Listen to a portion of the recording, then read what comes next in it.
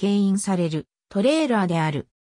ホンダゴールドウィングの牽引型トレーラー、トゥクトゥクと呼ばれるオートバイ牽引型トレーラーを利用したカンボジアのタクシー、ホンダウィズキャラバントレーラーオートバイで牽引するトレーラーは四輪車で牽引するライトトレーラーと同様の構成であるが、車体幅の狭いオートバイに合わせてトレッドを狭く小型に作られている。外観も牽引するオートバイに合わせてデザインされているものもある。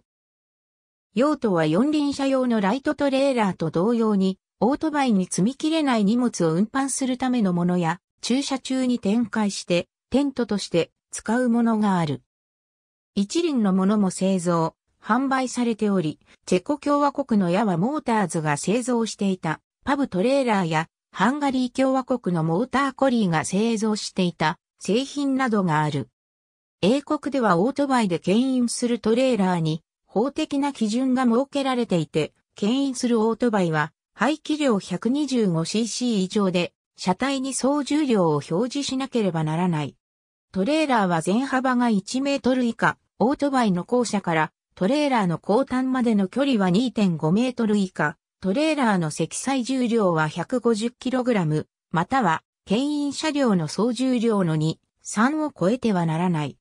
東南アジアをはじめとする発展途上国の多くでも、小型のオートバイでトレーラーを牽引する利用法が見られる。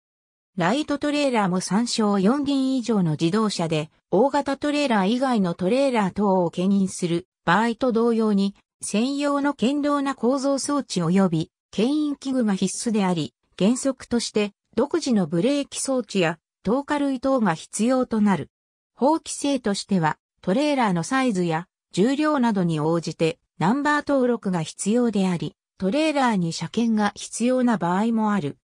オートバイで牽引できるライトトレーラーの市販は限定的であり、自作して独自にナンバー登録や車検を通す場合すらある。なお、オートバイ用、ライトトレーラーは貨物用であり、乗用のライトトレーラーはない。また道路交通法でも、オートバイの乗車定員は、本体の方に1名、または2名だけであるため、不随車に乗車することはできない。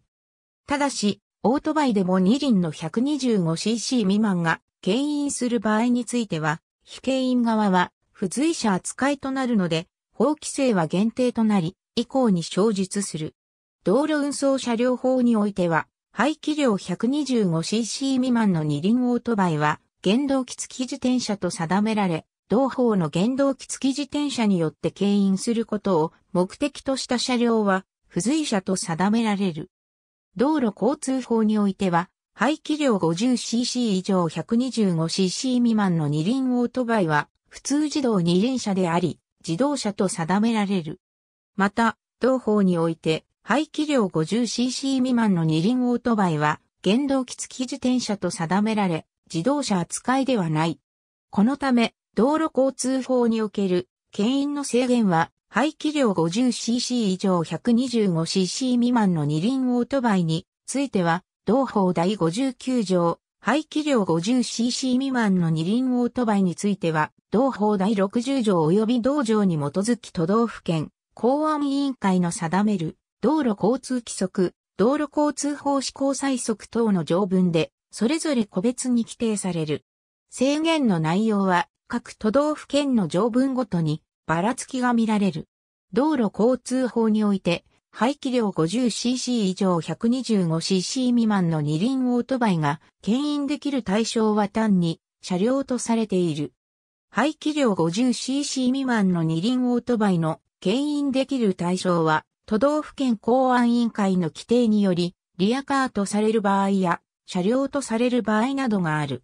軽車両を付随車として使用する場合の積載重量は道路交通法第57条第2項によって、都道府県公安委員会の定める道路交通規則、道路交通法施行細則等にて制限されることが多く、例として東京都、大阪府、京都府などでは 120kg に制限されている。公道での最高速度は排気量 50cc 以上 125cc 未満の二輪オートバイ、もしくは排気量 50cc 未満の二輪オートバイで牽引する場合ともに時速 25km に制限される。